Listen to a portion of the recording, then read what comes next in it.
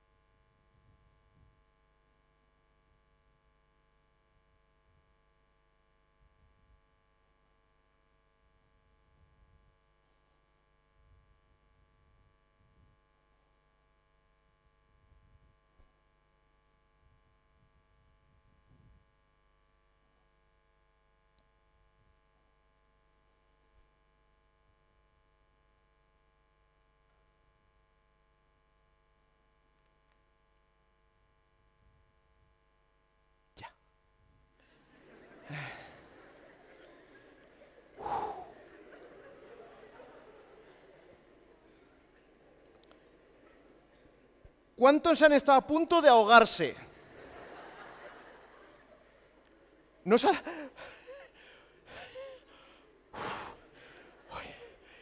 Este pastor nos ha matado en 60 segundos.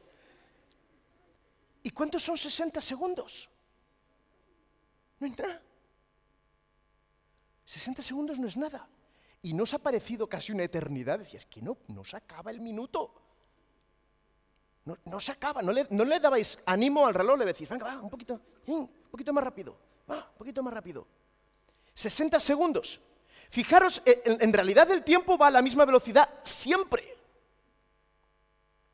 No es tanto el tiempo, sino la percepción que nosotros tenemos de ese momento, del tiempo. Puede ser una percepción rápida, puede ser una percepción lenta.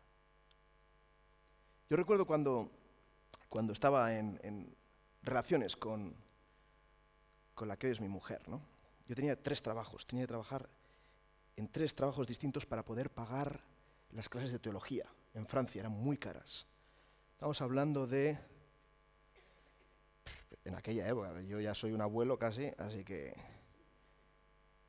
de cerca de unos 7.000, 7.000, 8.000 dólares al año hace 19, 20 años, 18, 19, 20 años. O sea, imaginaos la cantidad de dinero que había que conseguir. Tres trabajos, tenía tres trabajos. Y yo recuerdo que llegaba súper tarde a, mi habitación, dormía muy pocas horas allí en, el, en, en, Colons, en el internado de, varones, y, dormía pocas horas, pero, pero yo, yo, tenía una novia, tenía mi novia, Daniela, y llegaba acá a la habitación reventado, muerto, pero necesitaba hablar Así que había un sistema interno de comunicación, había telefonitos que era gratis. Si no me habría arruinado, era, gratis. Así que agarraba el telefonito cada, noche cuando llegaba allí a hablar con, con Daniela. Al principio éramos solamente amigos, era hablar con mi amiga. Y bla, bla, bla, bla, bla, bla, bla, bla, bla, bla, ¿Sabéis que, chicos, si le dais palique a una chica, si le dejáis que hable, no dormís. Porque cuando una mujer arranca, eh, se suele decir arrancada de caballo y frenada de burro. O sea, no hay manera, no hay, manera de pararlas. Es, es, es. Y yo me acuerdo que hablábamos y hablábamos, hablábamos de, lo que fuese, de cualquier cosa. Y, de repente yo tenía, ¡Ah! ¡ostras! Una hora y media.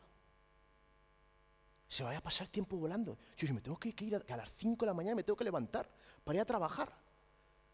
Entonces tenía que colgar, a veces te colgaba a la una de la mañana, doce y media, una y media de la mañana, dormía nada. Pero el tiempo se me iba volando. Es la percepción del tiempo. Y ahí me gustaría, ¿Biblias? ¿Biblias? ¿Biblias? ¿Sí? Biblia. Eclesiastés. Me gustaría que leyésemos rápidamente, rápidamente. Eclesiastés, capítulo 3. Estoy convencido que lo habéis tenido que oír alguna vez. Es un capítulo conocidísimo. A mí personalmente me encanta. Desde el versículo 1 vamos a leer hasta el versículo 8. Todo tiene su tiempo. Y todo lo que se quiere debajo del cielo tiene su hora. Tiempo de nacer y tiempo de morir. Tiempo de plantar y tiempo de arrancar lo plantado. Tiempo de matar y tiempo de curar. Tiempo de destruir, tiempo de edificar. Tiempo de llorar tiempo de reír, tiempo de hacer duelo y tiempo de bailar, tiempo de esparcir piedras y tiempo de juntarlas, tiempo de abrazar y tiempo de abstenerse de abrazar, tiempo de buscar, tiempo de perder, tiempo de guardar, tiempo de tirar, tiempo de rasgar, tiempo de coser, tiempo de callar y tiempo de hablar, tiempo de amar, tiempo de aborrecer, tiempo de guerra y tiempo de paz. Hay un tiempo para todo. Y algunas cosas son buenas y otras son malas. Y permitidme que yo haga simplemente una pincelada de, por qué razón lo escribe así Salomón. Es espectacular, es espectacular. Si pensáis bien, cada versículo, aunque hay cuatro líneas, en, en vuestras Biblias son cuatro líneas cada versículo, ¿lo han dividido como si fuese una rima o no? ¿No? ¿Lo han puesto todo seguido? Qué desgraciados, tendré que hablar con ellos. ¿Alguno lo tiene en cuatro líneas? Sí, ¿no? En realidad tendrían que ser cuatro líneas, pero es como un verso, ¿de acuerdo? Entonces, el verso sería de la forma que sigue. Tiempo de nacer y tiempo de morir, tiempo de plantar y tiempo de arrancar lo plantado. Son cuatro, cuatro líneas. Y si os fijáis bien, estas cuatro líneas en realidad están diciendo lo mismo. Dos pareados tiempo de nacer con tiempo de plantar. Tiempo de nacer con tiempo de plantar. Tiempo de morir con tiempo de arrancar lo plantado. Cuando tú arrancas una planta, ¿qué le pasa? Tiempo de matar, ¿con qué? Con tiempo de, de destruir. Y tiempo de, de curar, ¿con qué? Con tiempo de edificar. Están diciendo lo mismo, está utilizando eh, eh, formas distintas de expresarse, pero está diciendo lo mismo. Tiempo de llorar con tiempo de qué? De hacer duelo. Es lo mismo. De hecho, en aquella época en Israel existían lo que se llamaban las plañideras. Es una palabreja que igual dentro de cinco minutos ya no os acordáis. Plañideras eran las que lloraban, profesionales del llanto, ¿eh? las contrataban, es, increíble, las contrataban para llorar. Mira, es que he tenido una pérdida en casa, ¿puedes venir a llorar? Y sí, sí, venían allí y cuando se sentaban, ¡Ah! o sea, profesionales del llanto, ¿eh? Las plañideras, qué tías, qué tías. Tiempo de llorar con tiempo de hacer duelo y tiempo de reír con tiempo de bailar. Tiempo de esparcir piedras a ver si sabéis con qué rima este. ¿Con qué se junta? Tiempo de... De abstenerse de abrazar. Muy bien. ¿Qué le ha dicho? Muy bien. Tiempo de esparcir piedras con tiempo de abstenerse de abrazar. Y tiempo de juntarlas con tiempo de abrazar. Tiempo de buscar. ¿Con qué? Con tiempo de guardar. Y tiempo de perder con tiempo de tirar, tiempo de rasgar con tiempo de callar, tiempo de coser con tiempo de hablar. Y este es posible, os voy a explicar este rápidamente porque posiblemente es el que menos entienda. En, aquella época, cuando, cuando había algún muerto, había alguna pérdida importante, un muerto en la familia, lo que hacían que eran, sí señor, muy bien, ¿lo has dicho tú? Muy bien. Rasgarse las vestiduras, ¿quién lo ha dicho? Ven aquí, ven aquí.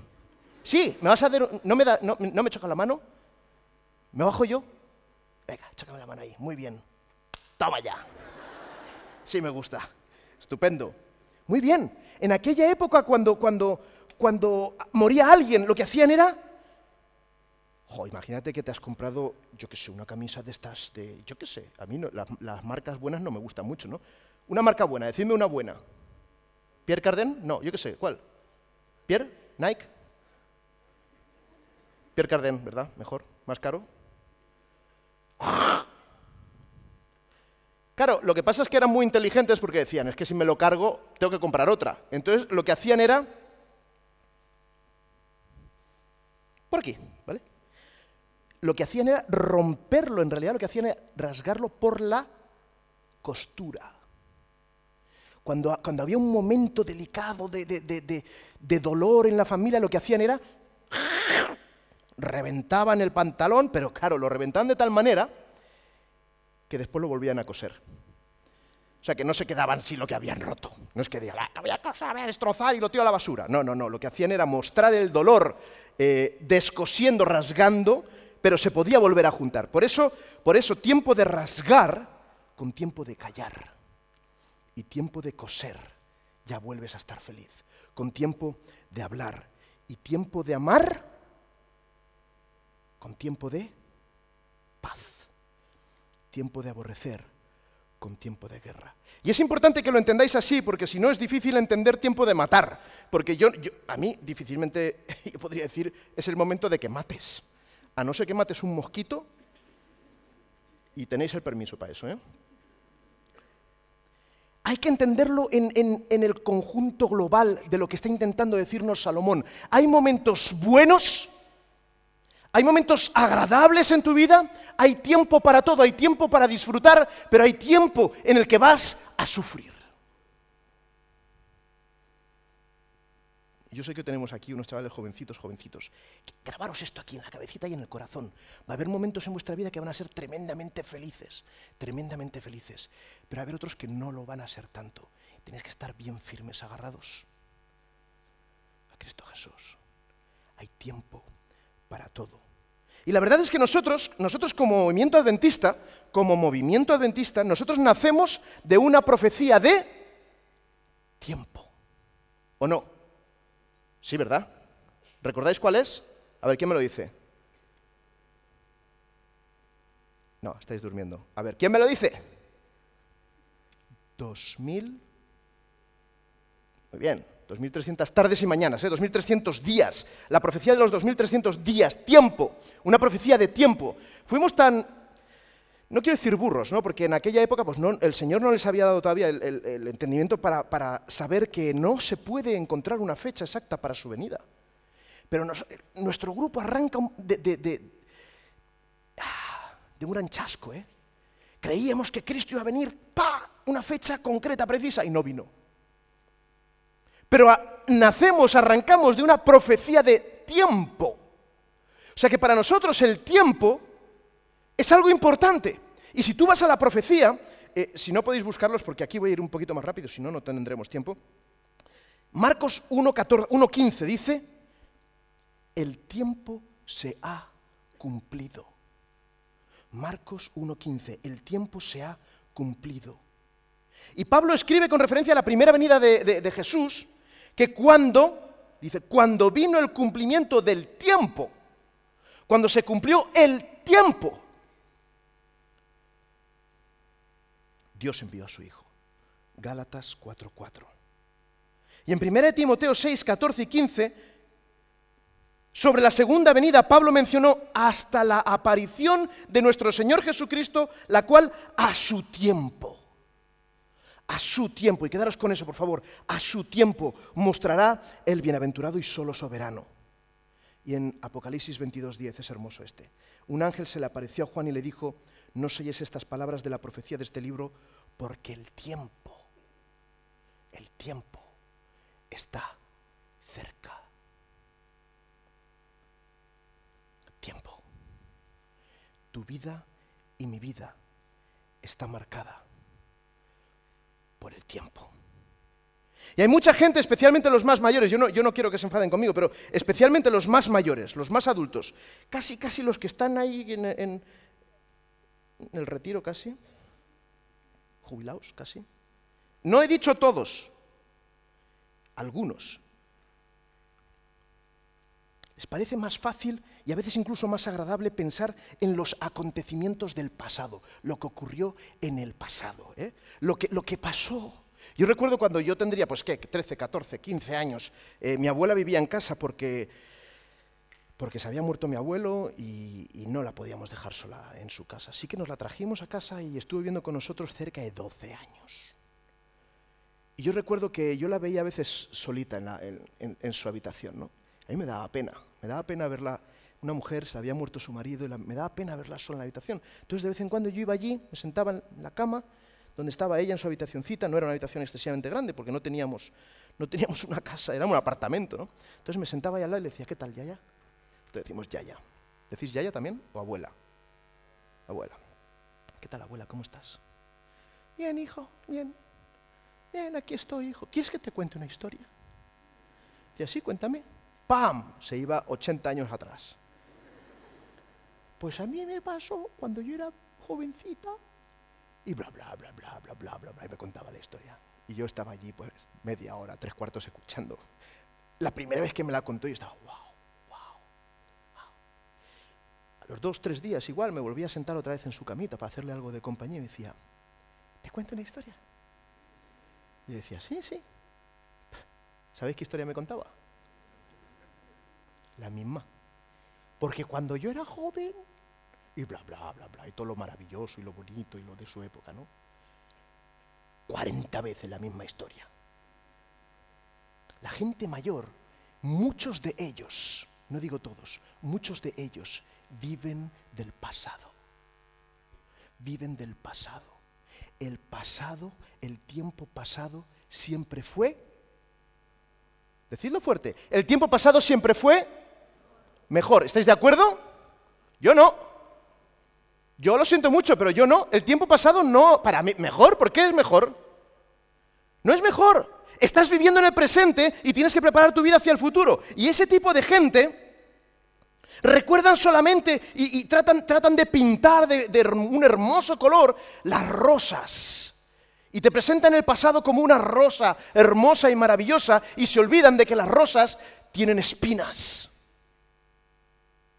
Y en el pasado hubo momentos terribles y, delicados, pero no, de eso se olvidan y todo, todo, fue maravilloso. Y sin embargo lo que ocurre ahora es terrible. Y la juventud es horrible. Y, y la sociedad es horrible. Bueno, pues en aquella época también. Y además, habría que recordarles a los que quedan viviendo enmarcados en el pasado, ¿dónde están los ojos? A ver, todos tenemos ojos, ¿no? ¿Sí? Todos tenemos ojos. ¿Tenemos ojos o no tenemos ojos? Esta es una pregunta fácil, tú. Si, si esta no la respondéis en el examen, más vale que no presentéis. ¿Dónde están los ojos? A ver. Ah, ¿y esto qué es? ¿Esto es un ojo? No es un ojo, parece, pero no es un ojo, prometo que no es un ojo. Los ojos los tenemos, los tenemos delante. ¿Por qué, ¿Por qué el Señor nos ha puesto los ojos en la parte de delante de la cabeza? ¿Por qué no nos ha puesto un ojo aquí detrás? Porque Cristo lo que quiere, el Señor lo que quiere es que nosotros miremos hacia adelante, que veamos el presente y que miremos hacia el futuro y que no nos quedemos anclados en el pasado. El pasado es importante conocerlo para aprender y mejorar, pero no para permanecer en el pasado. El Señor nos ha dado dos ojos para que estemos permanentemente con nuestra vista puesta en el futuro. Pero por desgracia, el ser humano es impaciente. Somos impacientes. El tiempo, yo recuerdo, esto lo digo así de pasada porque mañana contaré un poquito más, ¿eh? lo digo muy, muy, muy rápido, muy de pasada. Hubo un momento en mi vida que yo estaba impaciente y decía, madre mía, yo no me voy a casar. Habré nacido jorobado, o, ciego, o bizco, o cojo, o yo qué sé, o mudo, y sin despreciar nada a, ninguno. Pero es que yo decía, nadie, yo no, no, no me casaré. Tenía 29 años, 28 años. 28 años. Ya os contaré mañana. Y uno puede tener la impaciencia. La impaciencia, apresurarse en las cosas, es malo. Vayamos a la Biblia de nuevo. Génesis. Génesis, capítulo 15. Esto lo conocéis todos, ¿eh? Lo que pasa es que quiero que vayamos atando cabos. Génesis, capítulo 15. Seguro que lo conocéis. ¿Qué ocurre? ¿Cuál es, la situación que encontramos Génesis 15? ¿Quién está ahí? ¿Quiénes son los protagonistas? Muy bien, Abraham, Sara, hay otro más que nos estamos dejando. Dios, muy bien. Los primeros protagonistas son Abraham, Sara y Dios. Y es, espectacular. Después de estas cosas vino la palabra de Jehová a Abraham en visión diciendo, no temas, Abraham, yo soy tu escudo y tu recompensa será muy grande. Tu recompensa... ¡Wow! Te dice, te vamos a... Recompensa. ¡Ah! ¿Qué me vas a dar? Recompensa es que algo te va a caer. Bueno, algo te va a caer. Versículo 2. Respondió Abraham, Señor Jehová, ¿Qué me vas a dar? ¿Qué me vas a dar? ¿Qué me darás? Si no me has dado hijos. En aquella época tener descendencia era importantísimo. Si no tenías descendencia, ¿qué iba a pasar con tu, con tu legado? Tú no podías dejar nada a nadie. A nadie, a tu familia. Dice, yo no tengo, yo no tengo, no tengo hijos. Y el mayordomo de mi, el mayordomo de mi casa, en teoría eso tendría que quedar él, se llama Eliezer el Damasceno. Damasceno. El de por allá. Vino a él palabra de Jehová diciendo, versículo 4, no, no te heredará este, sino que un hijo tuyo será el que te herede. ¡Ah! ¿Me vas a dar un hijo?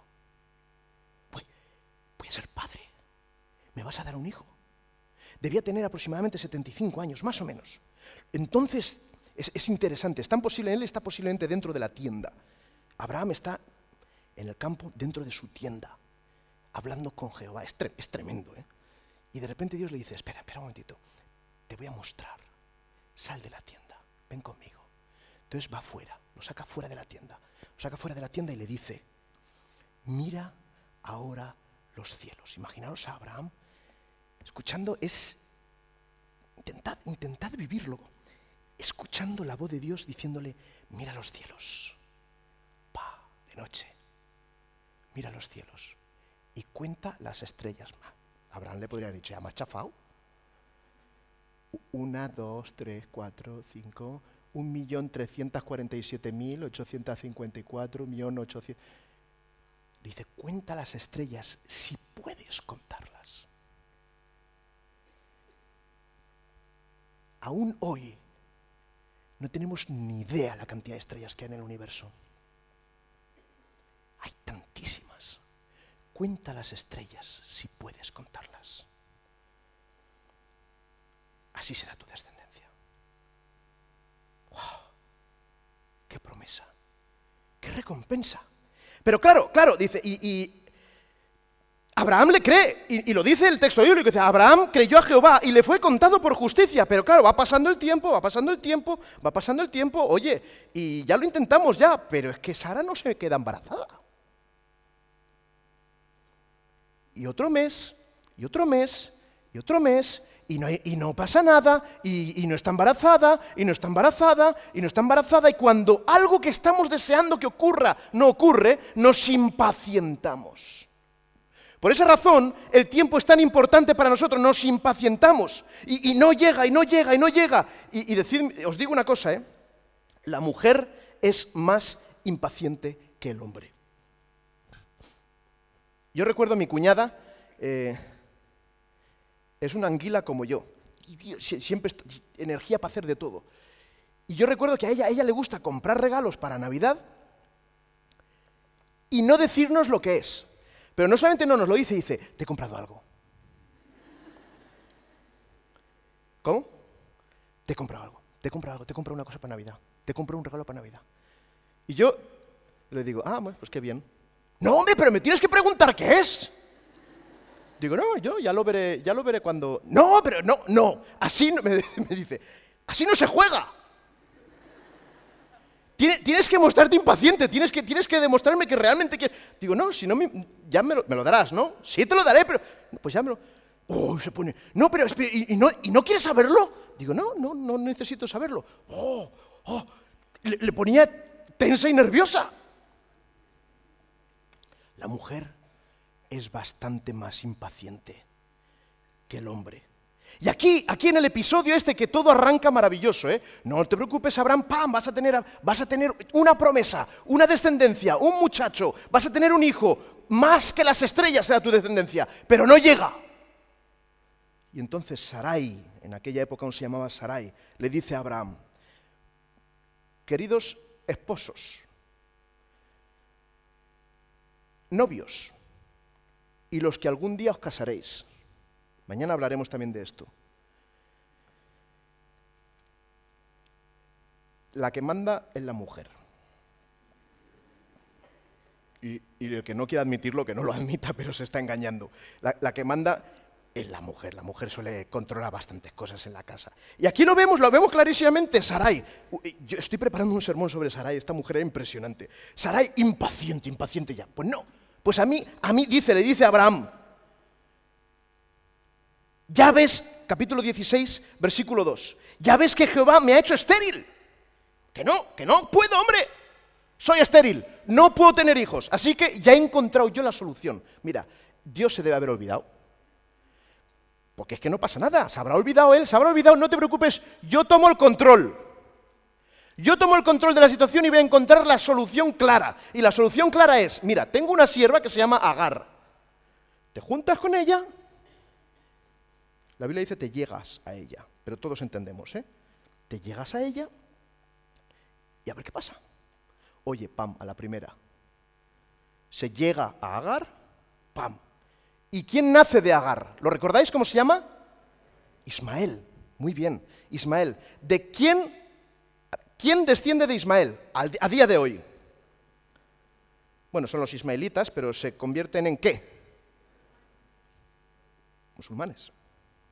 ¿De acuerdo? ¿En qué lío nos han metido? ¿Es verdad o no? Porque el follón que vivimos ahora mismo en nuestra sociedad moderna, eh, bueno, se lleva viviendo muchos años, pero es que nosotros seguimos viviendo el mismo follón. ¿En qué lío nos han metido? Entre Abraham y Sara. El lío que aún vivimos hoy, las consecuencias, dice, no, no, no, mira, como Dios no, yo, yo lo preparo todo. Te acuestas con ella, pam, un hijo, Ismael. Pero resulta que Dios iba a cumplir su promesa, pero la iba a cumplir a su tiempo.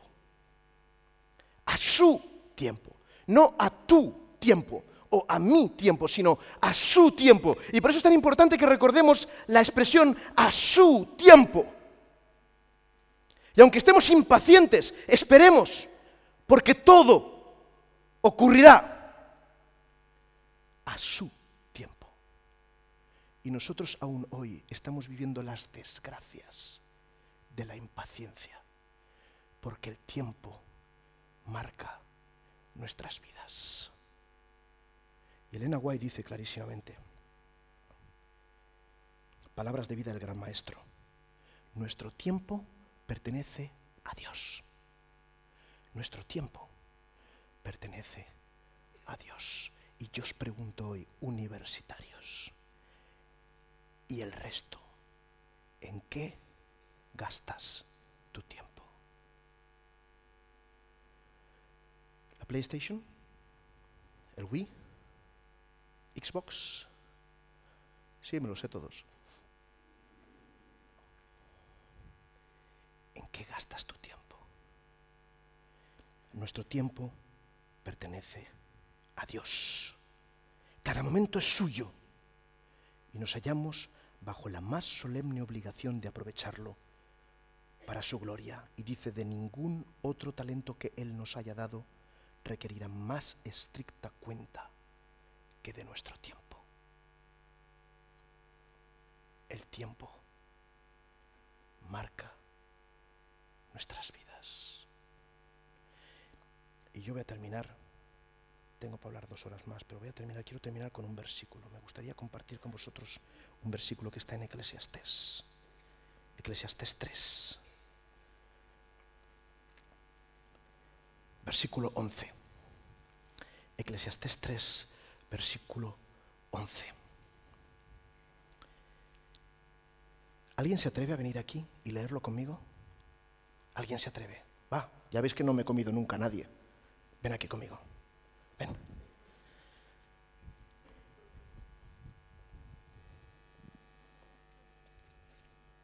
Dale. 3.11. Y todo lo que hizo hermoso en su tiempo, y aún en el mundo dio en su corazón de tal manera que no alcance el hombre la obra eh, eh, de Dios desde el principio hasta el cabo. Muy bien. Muchas gracias. ¿Tu nombre otra vez? Adrián. Adrián, te he conocido ahí de atrás. Muchas gracias, Katy. Muchas gracias. Todo lo hizo hermoso cuando. ¿Lo hizo hermoso? ¿Cuándo? En su tiempo. Porque nosotros pertenecemos a Dios. Todo lo hizo hermoso en su tiempo. Y, y hay otro pensamiento que es casi incluso más hermoso que este. Yo no sé lo que dicen vuestras versiones, pero me encanta la traducción de aquí. Y ha puesto, ¿qué? Ah, me encanta. Ha puesto eternidad. Ha puesto eternidad en el corazón del hombre. ¿Cómo puedes? Pero si yo sé que me voy a morir. Yo sé que me voy a morir. Y sé que el tiempo hace. Porque sé que algún día, si no ha venido Cristo antes, yo, ¡pam!, moriré. Estoy convencido de que eso ocurrirá si Cristo no ha venido antes. Pero Dios ha puesto ya en nuestros corazones, y lo dice el texto bíblico, Dios ha puesto ya en nuestros corazones el deseo de qué? De eternidad. Por esa razón, el tiempo marca nuestra existencia, porque queremos vivir por siempre. Lo único que debemos hacer es saber escoger con quién, y entonces será una realidad de nuestras vidas. Que Dios os bendiga, que podamos mantener ese deseo de eternidad con Cristo. Nos levantamos para hacer una oración.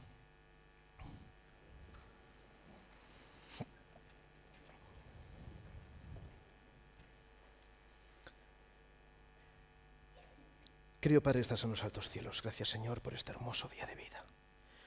Porque nos has dado otras 24 horas para poder disfrutarlas, Señor. Ayúdanos a saber disfrutarlas.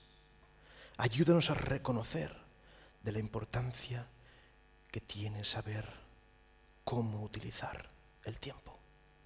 Y sabemos que tú nos has dado el sábado, y el sábado es el tiempo específico que tú requieres que nosotros te devolvamos directamente a ti. Pero eso no significa, Señor, que los otros días no te pertenezcamos. Debemos aprovechar el tiempo que tú has puesto en nuestras manos, que podamos ser útiles hoy y siempre, hasta el día que tú vengas. En nombre de tu amado Jesús. Amén. Que tengáis un buen día.